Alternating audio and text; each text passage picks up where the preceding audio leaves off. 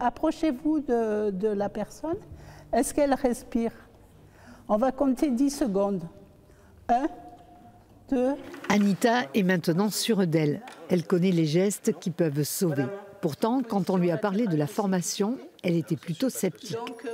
Je ne pensais pas être prise au sérieux, quoi.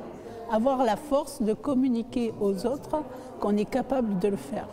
Rémi Arnaudot est pompier et formateur. Pendant deux ans, avec Fabien Garcia, lui aussi pompier, ils ont travaillé pour mettre au point une méthode pédagogique adaptée. Et pour apprendre, ils se sont assis dans un fauteuil. Une personne en fauteuil roulant, elle a une visu euh, par rapport à l'intervention, c'est-à-dire qu'elle est en retrait et du coup, elle est capable de rapidement de voir ce qui se passe et de donner des bons gestes de secours à quelqu'un qui ne connaît pas les gestes. Donc en fait, elle prend un peu la place comme un formateur, tout simplement, en indiquant des bons gestes face à des situations euh, d'urgence. Gilles Ruiz, élu chargé des handicapés à la ville d'Arles, a embarqué Croix-Blanche, Croix-Rouge, pompiers, tous ceux que les premiers secours concernent, avec un objectif la reconnaissance de cette formation par le ministère de l'Intérieur.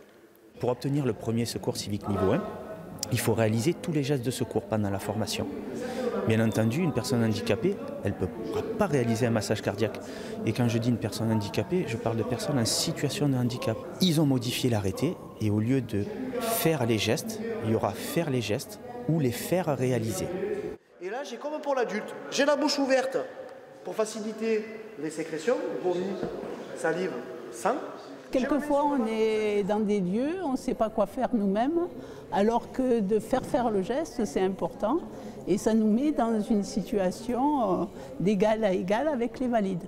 Et comme ici, la formation au premier secours s'adresse désormais à tous ceux qui le souhaitent.